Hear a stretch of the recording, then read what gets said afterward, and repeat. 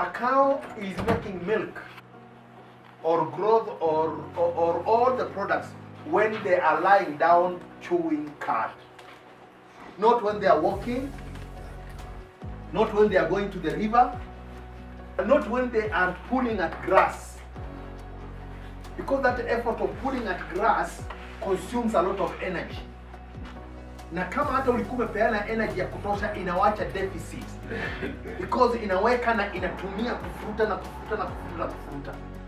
Sasa ile energy ambayo ingeenda kwa growth ama production inaenda kutengeneza eh, inatumika katika kule kufuru kufuta. We advise as much as possible ng'ombe akatiwe nyazi, hata kama ni Kikuyu grass kama hii ambayo tuko nayo hapa. Hiyo Kikuyu grass inaweza kukatwa na sickle, uiweke ng'ombe mahali pamoja. Ng'ombe akisimama pale, unaweza kukata hiyo na uchanganye na potato vines ama kitu kama hiyo.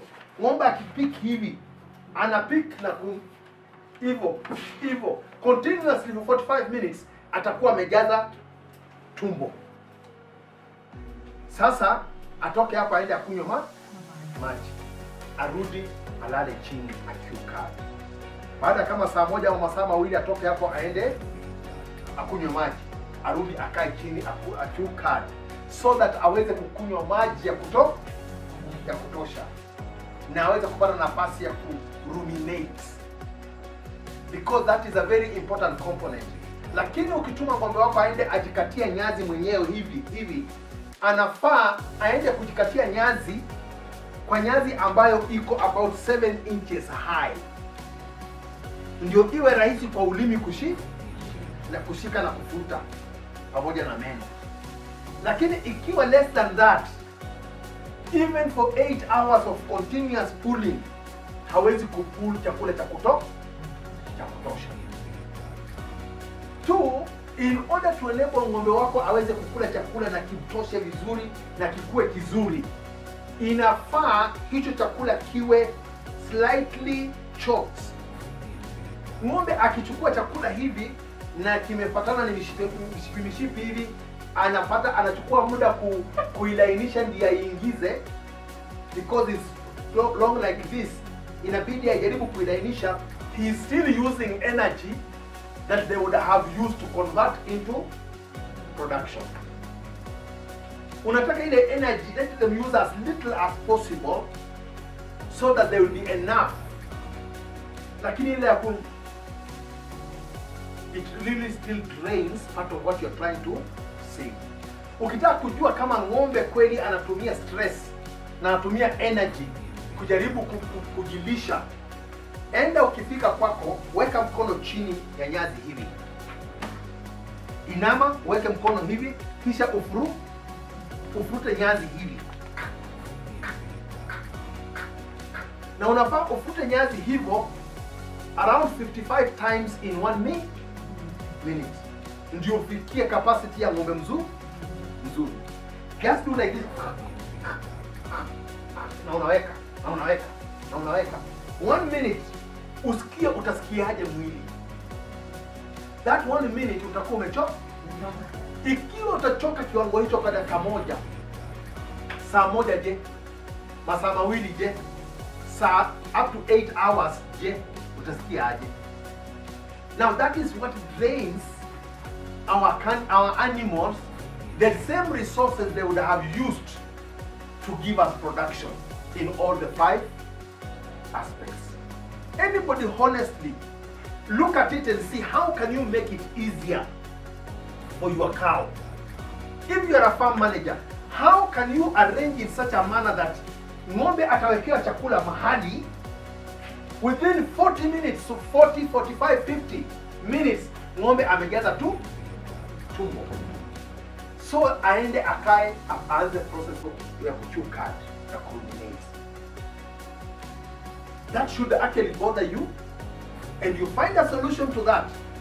You have found a solution to meat production you have found a solution to grow.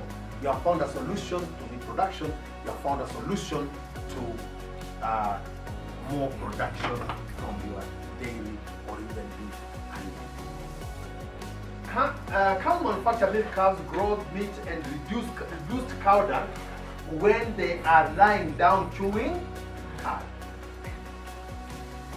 They, they, they should lie down for about 14 to 16 hours in a day.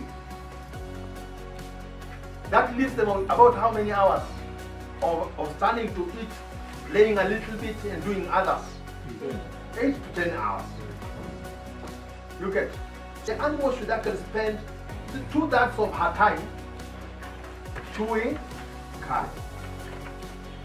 If you want to know whether you have managed properly a farm, if you want to know whether you have done well as a farm owner or a farm, as a farm manager, after you have fed your animal, you look around. How many of them will lie down to chew 10 minutes after eating, 20 minutes after eating.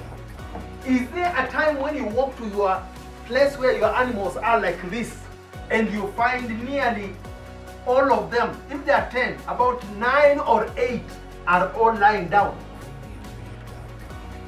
Is it a routine thing? Is this something that you can be duplicating every day so that you can say, every time from 9 or from 8 to 10, my animals usually are lying down chewing cud.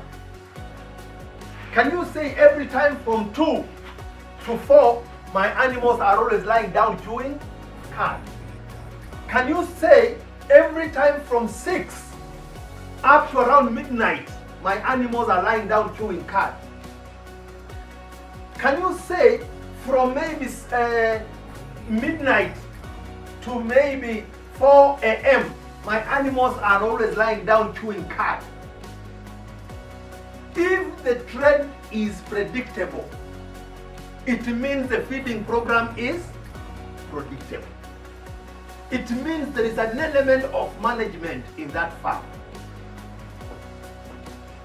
But if there is no duplication of certain behaviors that signal what could have happened to the animals, then every day is a new day in your farm and every day is a gambling day.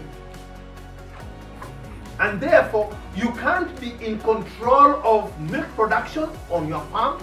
You can't be in production of fertility. You can't be in control of fertility.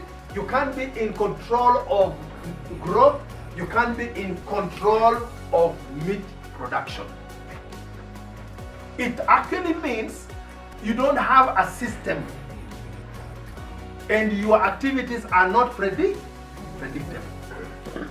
And that is why when faith goes to the cooperative or when milk comes to the cooperative, there would be no very predictable milk supplies.